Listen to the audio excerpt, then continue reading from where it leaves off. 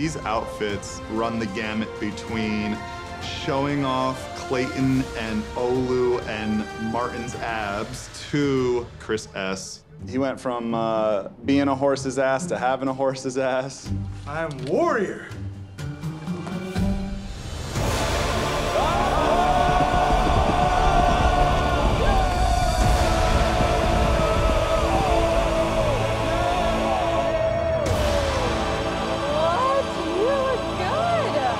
Came here to conquer all my competition today for Michelle Young's heart. I'm ready to go, man. Let's get started. Follow me. see a large table with a cloth over it. I see a bunch of flies swarming over the cloth, and I'm like, Lordy, what is it? Before we battle, we must have sustenance. Oh, oh, Oh. Before you, we have fermented herring, which is quite delicious, Oh my god, I'm sorry. and Viking head hash. That's uh, Dig in.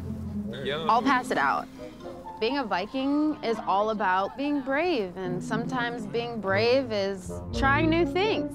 Down the hatch, boys. Is it crunchy? There you go. I don't think I can do this. I don't think I can do this. Being on this group date, it sucks. I don't think I can do this. Louisiana boys only eat good seafood, not bad, nasty seafood. It was disgusting. The next delicious item is Viking head hash. Calbrain's tongue and cheek. Oh my god. So what did I what did I do to you? Am I gonna die if I eat this? What's wrong? Do you not like our feast? Oh my god.